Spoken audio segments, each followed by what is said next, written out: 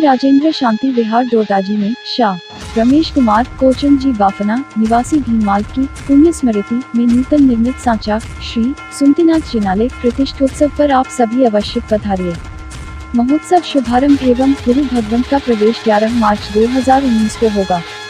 शुभ प्रतिष्ठा 13 मार्च 2019 को होगी।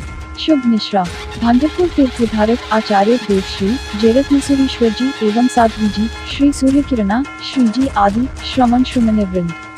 आमंत्रित श्रीमती मंजू देवी रमेश कुमार जी, कोचन जी, बाफना भीमाल मुंबई।